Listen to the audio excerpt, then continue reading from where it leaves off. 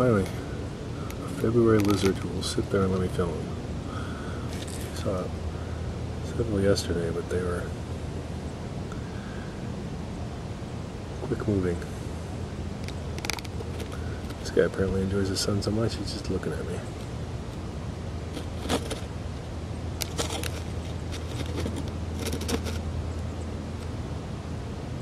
They're gonna eat those ants? Oh, the ants are literally running over him. They're not yummy ants.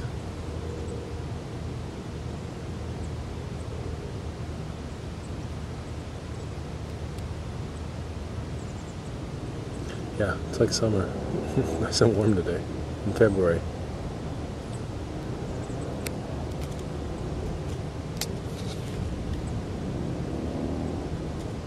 Yeah, you gonna move, Mr. Lizard? Bye bye.